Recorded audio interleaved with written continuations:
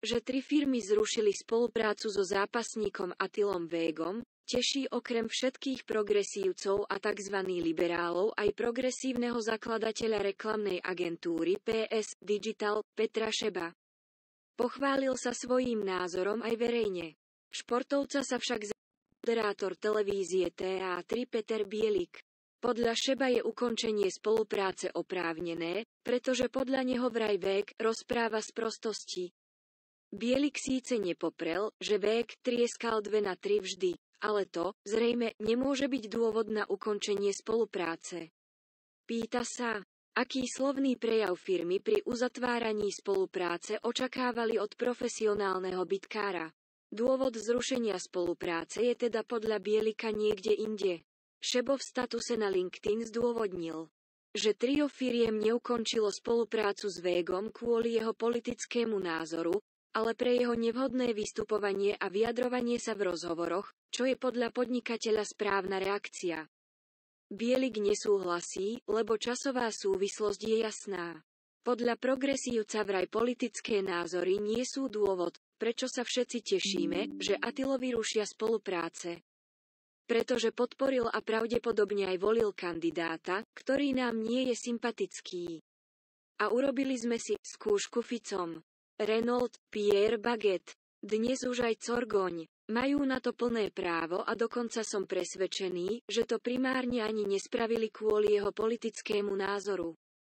Minimálne tí ostatní dvaja, Keďže Renault sa k tomu dosť neprofesionálne priznal, napísal Šebo na sociálnej sieti LinkedIn s tým, že ani sám pred sebou, nie ešte verejne, nemieni súhlasiť s faktom, že dôvodom na ukončenie spolupráce trojice firiem s Végom je jeho politický názor, takže, kde je dôvod? Spoluprácu s Végom vraj firmy ukončujú kvôli Végovmu nevhodnému slovníku a nevhodnému správaniu. Je to za mňa správna reakcia. Každá značka má právo povedať, komu bude platiť za to, aby ju zviditeľňoval a aby sa s ňou spájal. A keď dospeje k presvedčeniu, že už si to viac nepraje, môže vypovedať zmluvu. Ktorákoľvek strana, píše Šebo, podľa ktorého by firmy rozvezovali spoluprácu aj s influencerom, ktorý by sa prihlásil k voľbe Korčoka, ak by mal nevhodné vyjadrenia. Použil test Ficom, pomôže nám skúška Ficom.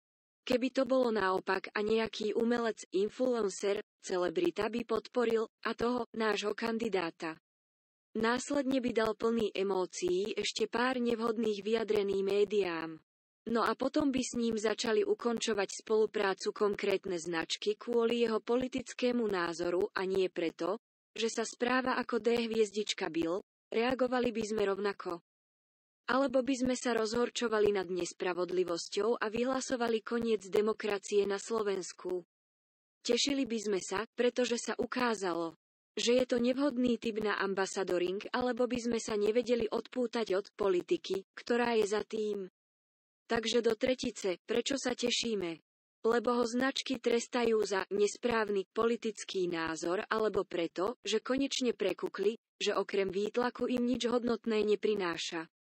Dúfam, že správne je B, uzavrel progresívec, Bielik to vidí inak, ak vezmete do úvahy časové súvislosti je jasné, že odpoveď je A. On trieskal dve na tri vždy, pani Palúchová.